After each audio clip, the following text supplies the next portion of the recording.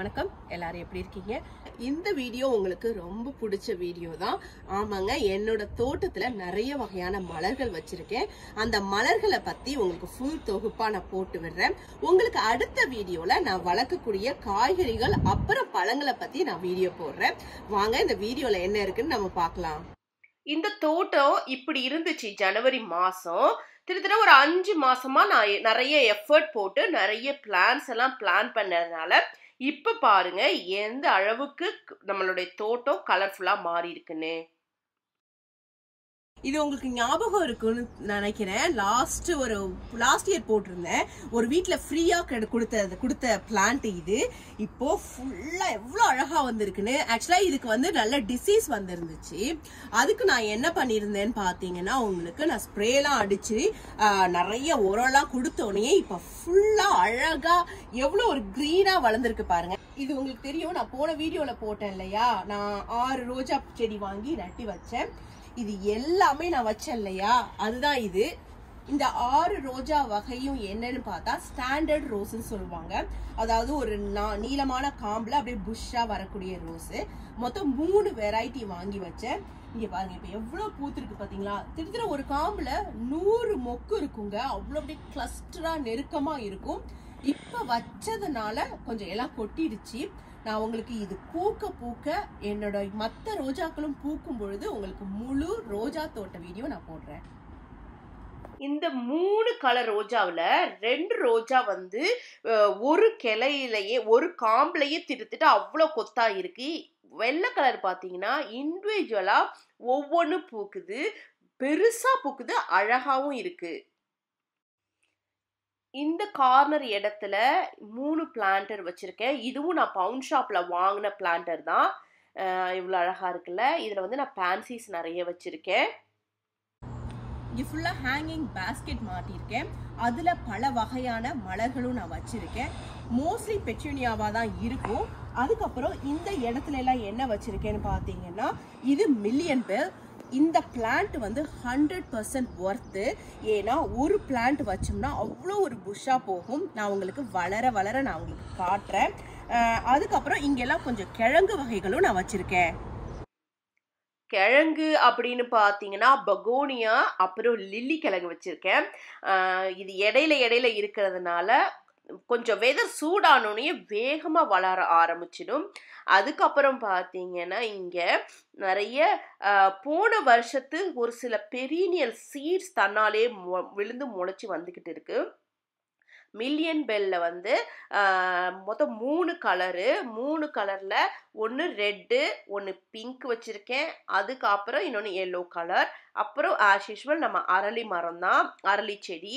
அரளி செடியை நான் இந்த மாதிரி பாட்டில் மண்ணில் இருந்ததை பாட்டில் மாற்றி வச்சுருக்கேன்.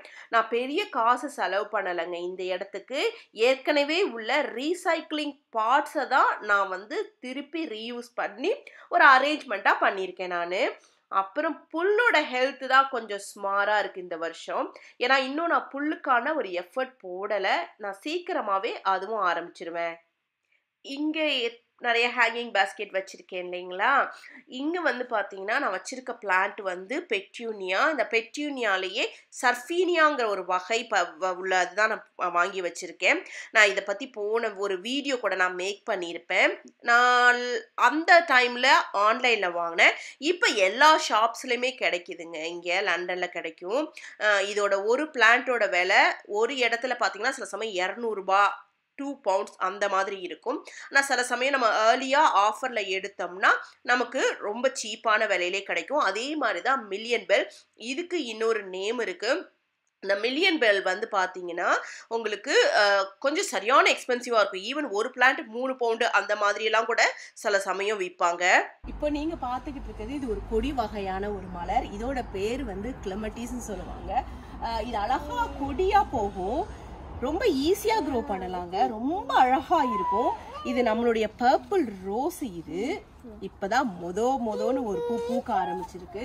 இந்த கொடியை நான் அந்த ரோஜா செடிக்கு பின்னாடி தான் நான் வச்சு விட்டேன்.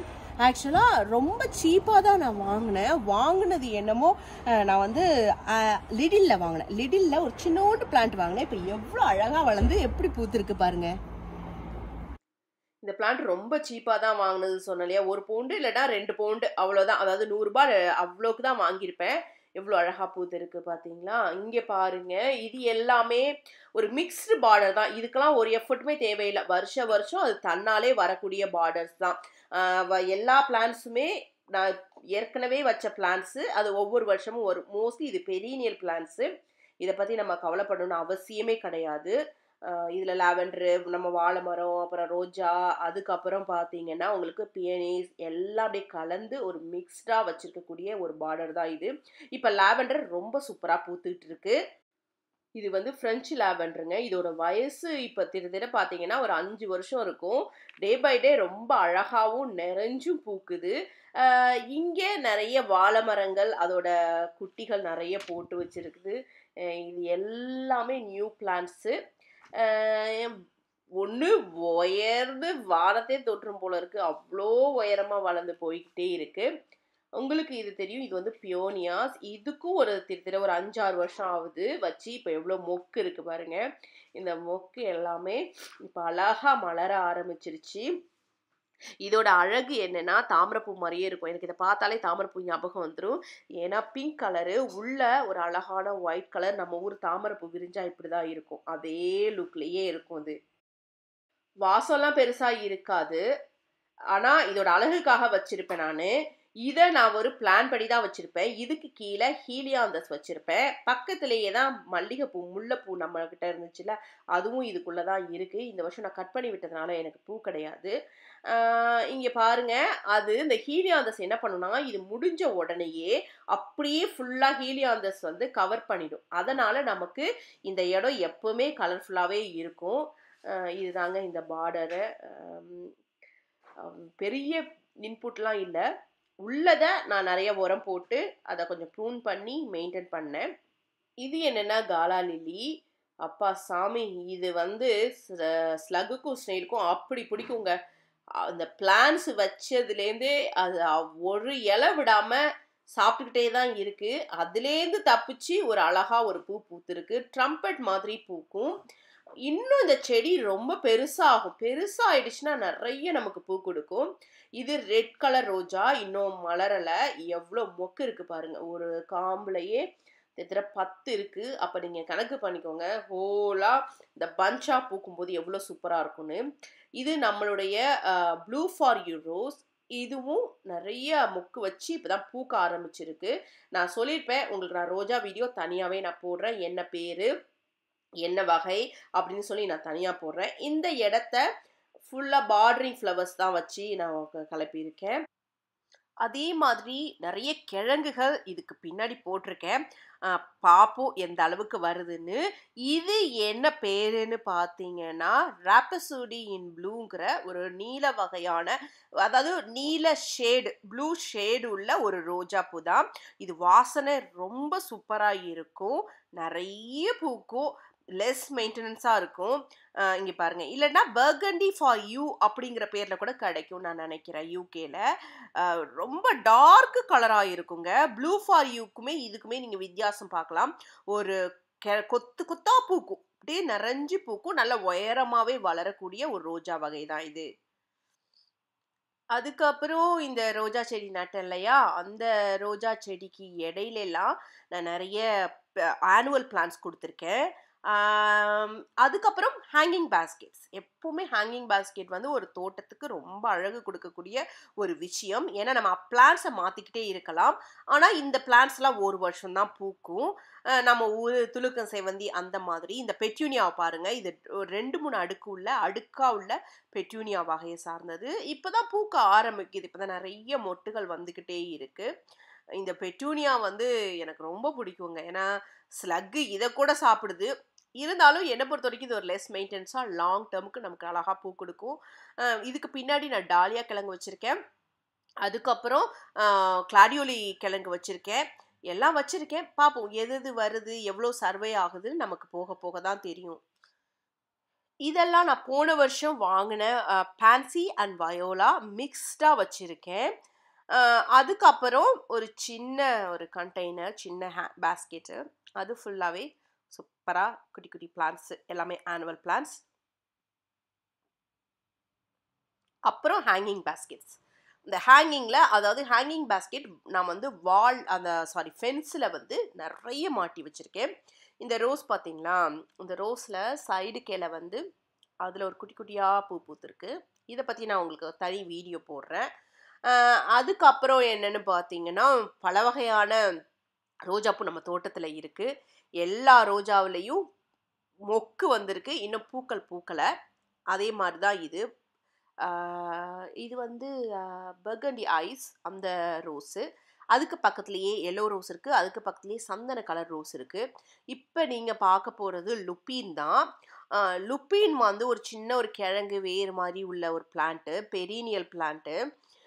அழகாக வளரும். அழகான பூ. ஆனால் இங்கே பாருங்கள் யார் மொக்கு வந்திருக்கு பாருங்க. இப்போ இங்கே யார் உட்காந்துருக்கா பாருங்க. நத்தை உட்காந்துருக்கு பாருங்க. விட்டோம்னா ஒரு பிளான்ட் கூட இருக்காது. நான் உண்மையிலேயே இந்த பிளான்ட்டை வச்சு வளர்க்குறதே இப்போலாம் நத்தைக்காக தான் வளர்க்குற மாதிரி ஆயிடுச்சு. இல்லைன்னா மற்ற ஒரு பிளான்ட்டையும் விடாது. எல்லாத்தையும் கடிச்சு சாப்பிட்ரும் அதனால சரி ஓகே இந்த பிளான்ட்டையாவது சாப்பிட்டுக்கோ அப்படின்னு சொல்லி விட்டுருக்கேன். இப்போ இங்கே ஒரு சந்தன கலர் உள்ள ரோஜாப்பூ. இது என்னென்னா லில்லி. லிலி வந்து நிறைய தோட்டத்தில் இது வாட்டி வச்சுருக்கேன். பார்ப்போம் எவ்வளோக்கு வருதுன்னு தெரியல. அது வந்து கிளாடியோலி. இந்த ரோஸ் பார்த்தீங்கன்னா burgundy ice sorry black baccara rose. இங்கே பாருங்கள் எவ்வளோ மொக்கு வந்திருக்கு பாருங்கள் இதில் எவ்வளோ அழகாக ஒரு பூ வந்திருக்கா? எல்லாமே பயங்கர பெஸ்ட் அட்டாக் தான். இந்த பெஸ்ட் அட்டாக்னாலேயே பாதி போயிடும் போல இருக்கு. இப்போ இந்த அளவுக்கு வளர்ந்துருக்கு பாருங்க. இது இன்னும் உயரமாக வளரும். இன்னும் உயரமாக ரொம்ப இதோட டேமேஜ் மட்டும் இல்லைன்னா அது அந்த மலரை பார்க்கவே அவ்வளோ அட்ராக்டிவாக இருக்கும். இது வந்து ப்ளூ ஃபார் யூ ரோஸ் தான்.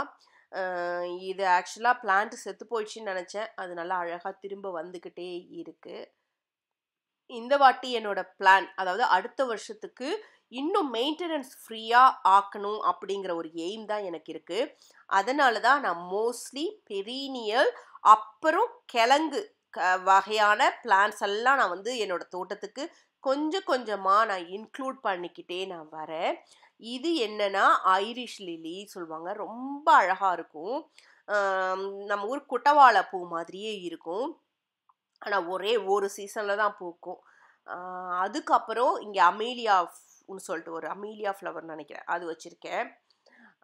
இங்கே வந்து ஒரு பேட்டியோ ரோஸ் ஒன்று அதுக்கப்புறம் இன்னொரு பிங்க் கலர் ரோஸு இவ் இதுதாங்க நம்ம கார்டனோட ஓவரால் வியூ பார்த்தீங்கன்னா நம்ம தோட்டம் இப்போ இப்படி தான் இருக்குது இன்னும் நான் சொன்ன மாதிரி லான் மெயின்டெனன்ஸுக்கு அதை நான் நல்லா லானை ஏரேட் பண்ணணும். அது இருக்குது உங்களுக்கு இந்த ரோஜா பற்றி தெரியும்னு நினைக்கிறேன். இது லேட்டஸ்ட்டாக நான் வாங்கி வச்ச டேவிட் ஆஸ்டினோட கேப்ரியல் ஓக்குங்கிற வகையை சார்ந்த ஒரு இங்கிலீஷ் வகையான ஒரு ரோஜா தான் இது. சரியான வாசனையாக பூக்கக்கூடிய ஒரு ரோஜா மலர். அடுத்தது நம்மக்கிட்ட உள்ள வெள்ளை ரோஜாவும் அதோட முதல் பூவை கொடுத்துருச்சு.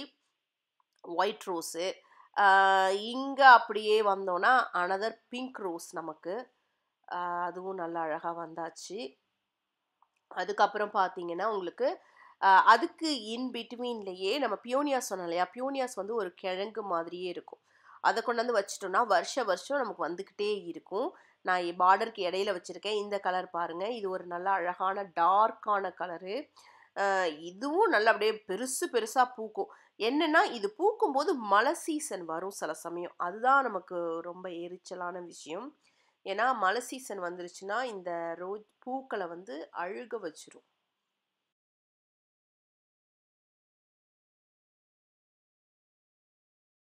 நான் உங்களை முன் தோட்டத்துக்கு கூட்டிகிட்டு போகிறேன் இது வந்து ரெட் ஹாட் போக்கர்னு சொல்லுவாங்க. இதவும் இதுவும் நம்ம மண்ணில் வச்சிட்டோம்னு வச்சுக்கோங்களேன். உங்களுக்கு வருஷ வருஷம் வரக்கூடிய ஒரு பெரீனியலாக வரக்கூடிய ஒரு மலர் தான்.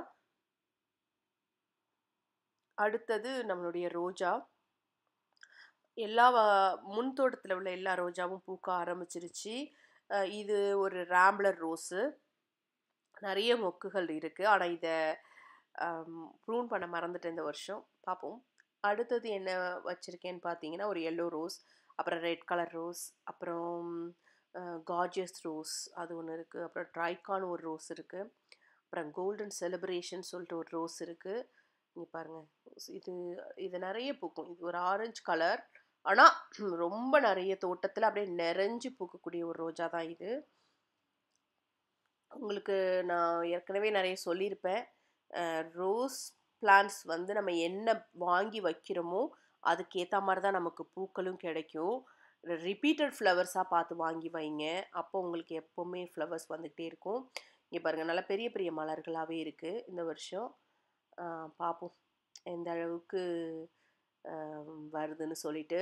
இனஃப் மழையும் வேணும். மழை இருந்துச்சுன்னு வச்சுக்கோங்களேன் உங்களுக்கு இன்னும் நிறைய பூக்கும்.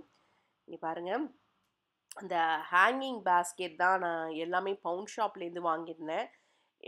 அது இந்த வருஷம் எனக்கு நிறைய ஹெல்ப் பண்ணுன்னு நினைக்கிறேன். ஃபுல் அண்ட் ஃபுல் என் வீடியோ கார்டனை பற்றி வீடியோ நான் எடுத்து போட்டேன். அடுத்த வீடியோவில் உங்களை நான் இன்னும் இன்ட்ரெஸ்டிங்கான ஒரு டாப்பிக்கில் நான் கண்டிப்பாக பார்க்குறேன் தேங்க்ஸ் ஃபார் வாட்சிங் மை வீடியோ மறக்காமல் சேனலை சப்ஸ்கிரைப் பண்ணி சப்ஸ்கிரைப் பண்ணும்போது பக்கத்தில் உள்ள பெல் ஐக்கானை கிளிக் பண்ணிவிடுங்க